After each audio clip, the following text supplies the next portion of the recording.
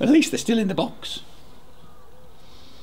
Of course, my best laid plans gone to shit because I, I thought I'd blooming get them orientated to this spot before we get our fish tank up here, and I was going to have it all nicely installed and all organised. And so when the lovely wife comes back, she says, "Oh, that's good." But of course, she come up the stairs to go to work this morning and went, "What's that bloody bee box doing on my outside table?" I said, "Well, it's not staying there. It's going to be okay. It's going to be a fish tank bee box." And she's like. Ah, you stupid bush bee man, you can't put a fish tank on my veranda. And I'm like, going, you won't even know it's there. I might be getting ahead of myself. We've got to get the bee box up here yet.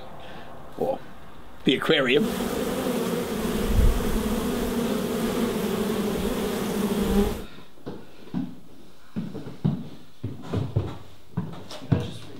Oh shit, it's going to slip out. Because you've got the. Yeah, no, I got it, yeah. Yep.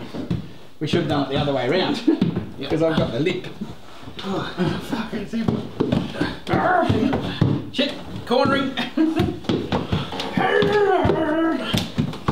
okay, this is officially stupid.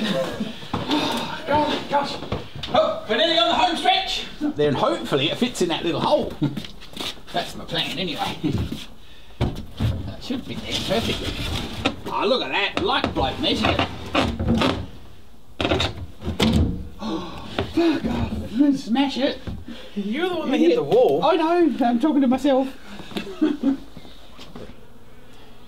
you think the wife would get excited if I cut the bars out so they don't have to negotiate through them? Pretty sure I'd be the shit. no, we'll, we'll, we'll push it up to the edge and see what happens for a start. See how they get on. So we've got our bees in our bee box, which they're pretty close to being orientated to where they are. I reckon the next thing to do is probably to go and get a bee suit on. I was just thinking the wife's taken my ute, as I said earlier, and my smoker's in the back of the ute. So I hope I've got a spare one in the shed. And I'm sure I have, but exactly where is anybody's guess. He's old faithful. First smoker I ever bought. That was before I figured out that you're actually meant to be clean and tidy and not have crap everywhere.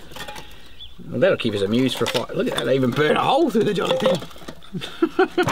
well, at least the rag's still there. That's good. So maybe we'll just scrape some of that shit off it before we get too excited. Oh, shit. oh, you poor old thing. Goodness me. Anyway, for all you naysayers that don't think beeswax looks after your wood, there's proof right there.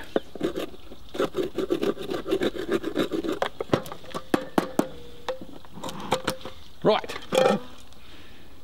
Now all we got to do is figure hessian is. Goodness me, this is the one that the lid falls off. That's got a bit too sad. Ah! Right, your little rag, a little bit of cloth. A little bit of cloth.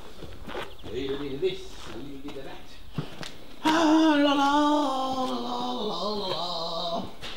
Oh, out. That's a that's a long cigarette rider.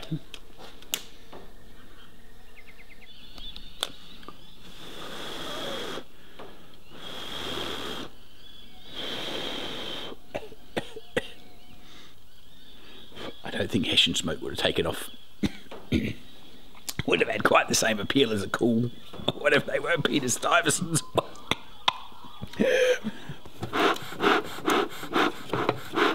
One of the ladies turned up and said, Hey, there's a bloke with a smoker, he's doing something bad. I think this is one part of the logistics that I hadn't thought through. How do you get your smoker through your house? Perhaps put your finger on it. Here we go!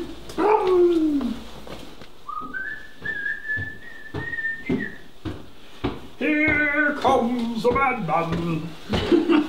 Golly gosh. if you'd like a fish tank on your veranda, go to the website. Okey dokey doke, let's see what sort of trouble. Now, if you haven't been following us along, these are the bees we caught out of that tree the other day. So hopefully they're still on their little cluster.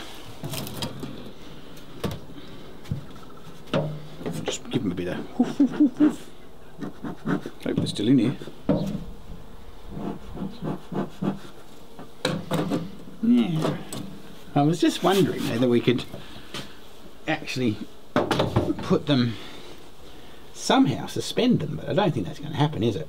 I'm just wondering, should we, which end we should put it in? But I suppose we'll put it towards the door and then work it out. Just wondering if we could stick something through there and hang them up in the air. We'll just sit it in there, you reckon, or shall we try and hang it up? Ah, I don't know. You can feel the warmth that they've created in the middle of this whole section.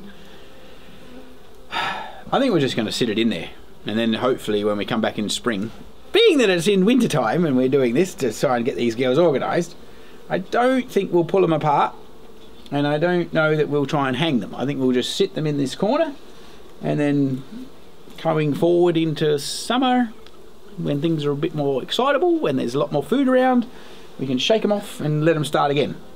But just for now, I don't want to completely kill them, so we're just going to pop them in the box. Tezzies. Tezzies, that's not, that's not English, is it? What's Tezzies mean, you silly man? Oh, oh, oh. Here we go, chicks.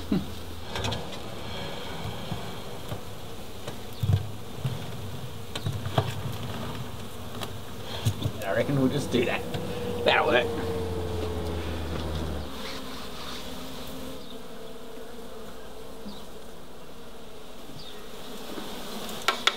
Just shake all these girls off of here that we're obviously starting to get established. I think they're a little bit confused. They're trying to go through the glass.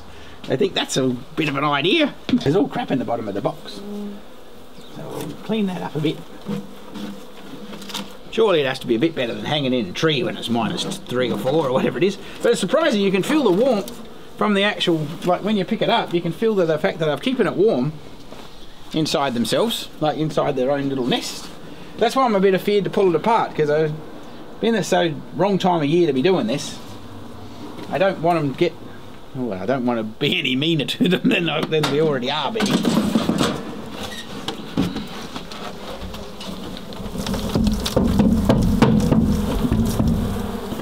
Wonder if I just sit it up there for a little bit till they figure it out.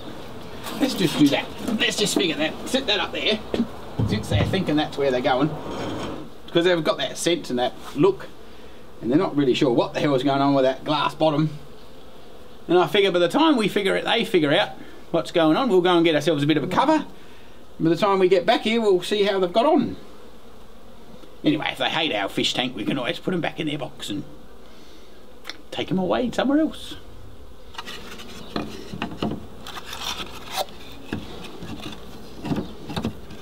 it's probably not really ideal to have a bee box in your veranda, is it? It kind of be cool. I don't know. I had an idea that'd be cool. Oh.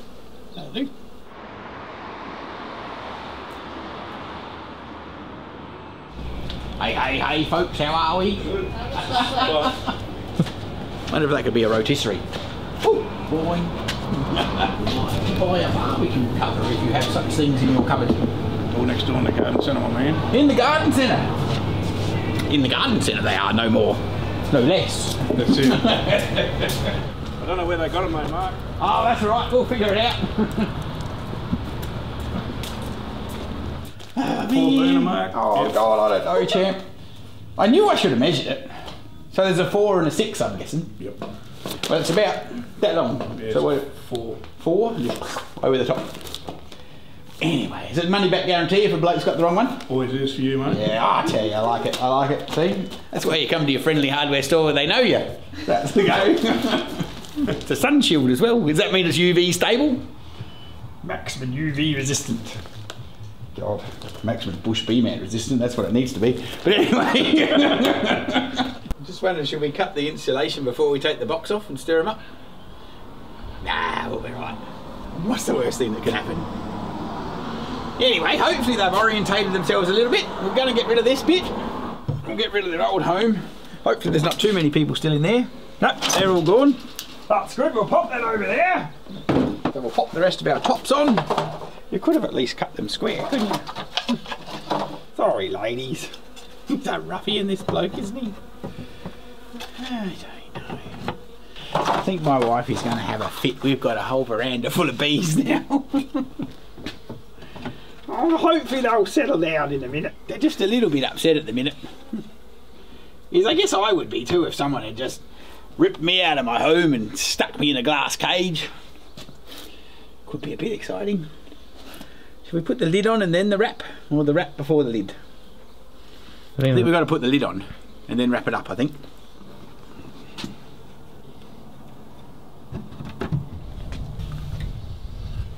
They're a bit excited. so I'm reckoning if we make a little bit of the isolation between there and there, and then we'll put our Barbie cover over the top, and then we'll leave them alone to resettle. What do you reckon? you reckon that's going to work or not? Is that just crazy? About there somewhere. Now there. Do you reckon we can cut in a straight line? Probably not.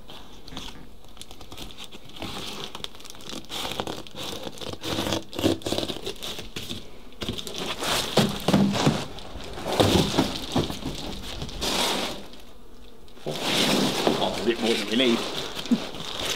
bit like the lunar landing. Look out! Here comes the bush bee man! I'm not volunteering for Mars. That's not happening. Don't think there's many flowers up there.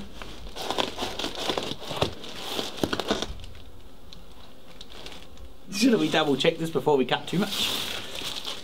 we probably should just double check that it's going to be about right before we cut too much of it. That's going to give us plenty, so we'll trim it up. We'll make it pretty afterwards. It's going straight. Any idea how much we're going to need? Whoa! Look at that, I'm getting speed up.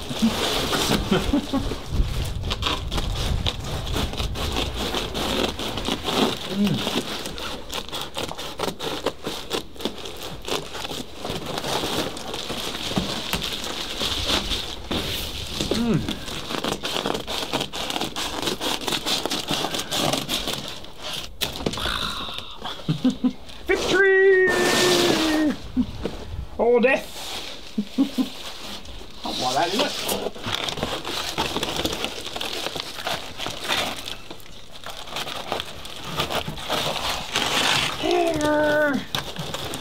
In my mind, this was a good idea.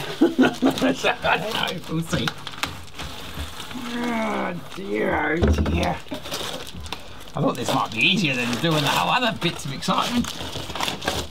Especially since the wife said that we will put a barbecue cover over it, he won't be fussed.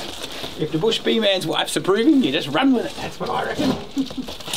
Go with the yes. It wasn't really a yes. It was more of a, of a grudging. You're going to do it anyway. I think was the comment. Right. That's sort of going to work, except we've blocked their entrance in now. So we'll have to trim that bit up. Oh, I don't know, John. This is a bit silly. I think this might have been a silly idea.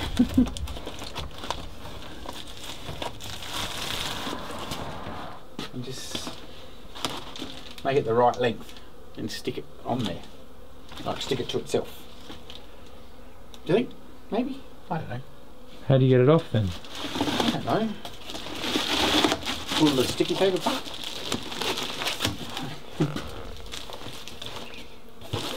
yeah, yeah. Well, what's your bright idea? You got any better ideas? It's not my project. Well, you're here involved. You really take some responsibility.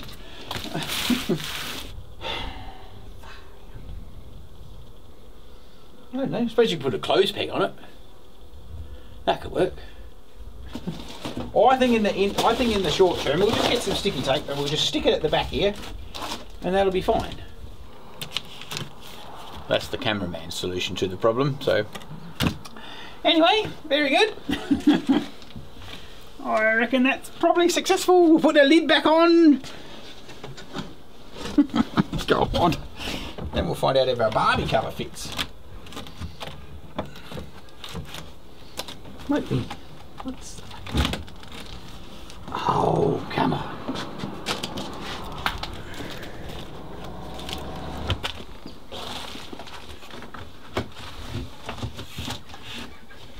I think that looks alright because it's sort of sitting on the edge there. And they seem a little bit less confused now that they're in the dark. Like rather than having all that glass to look at. So hopefully our four burner barbecue suits. It says two suit a four burner barbecue. Doesn't mention anything about fish tanks. But still. oh my lordy. Come on, come on, come on, out you come, out you come, Barbie cover. Oh,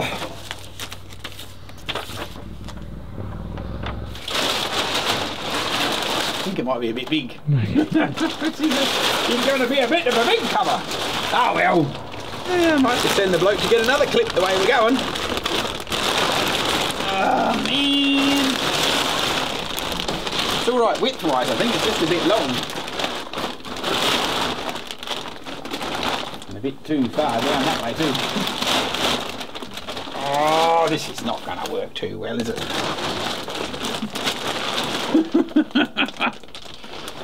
Here!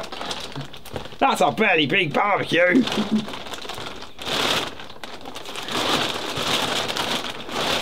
How are we going to fold that up so it doesn't look completely ridiculous?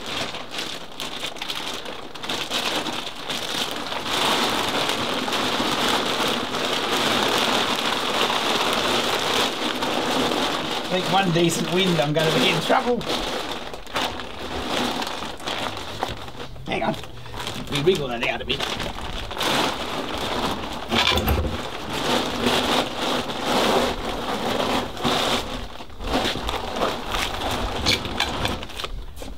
Punning. Now we've got to cut a hole for him to get in. Shit. You realise if we cut it, then there's no return. They won't take it back if they've got a big hole in it for a bee entrance. Mm. This is not going to last long when I do this to it, is it?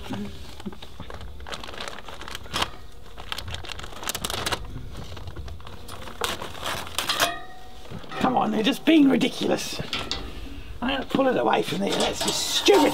Stop it. Gosh. A small earthquake, the chicks reckon. Mm, I think they tape it down there or something. Shit.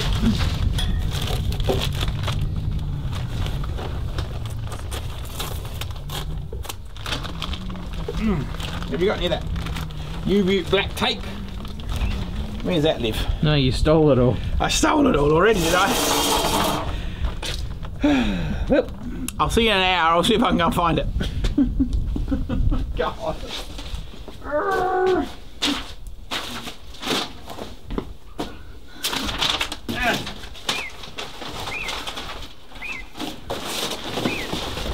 Oh man, it's still freezing.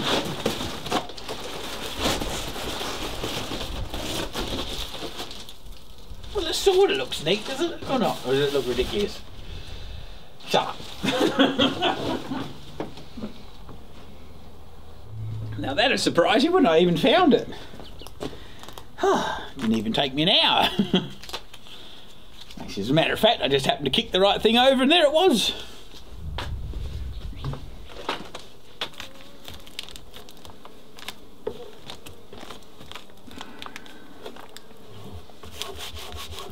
This is not quite how I envisaged this, but still. I heard it here. I wasn't exactly sure what I thought was going to happen, but yeah, I should have known, shouldn't I? Oh. Anyway, this will be a bit temporary, but at least it'll get it covered up. And then, guess when we've got some more spare time, we'll come back and change it up when this, probably this cover will shit itself before too quick. Or too, or too long. too quick. Oh, God. Anyway, you know what I mean.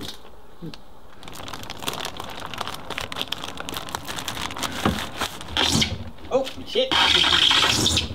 Oh. Oh, man. Poor old knees. Rightio. We'll tuck it all together. And there we have it. Our barbecue fish tank observation bee box. oh. So there you go. That's how you can put together a to convert a fish tank into an observation hive when you've got nothing much better to do in the middle of winter. I'm not exactly sure where I can tell you where you can just grab a bunch of bees out of a tree, but anyway, it just all happened to come together. That was the start of this whole excitement. We found that blooming bees in a tree, and we thought, well, hmm, I don't know, what are we going to do with them? Well, what the hell? Let's put them in a fish tank. Anyway, thanks again for watching. Don't forget to share us with your mates. See ya.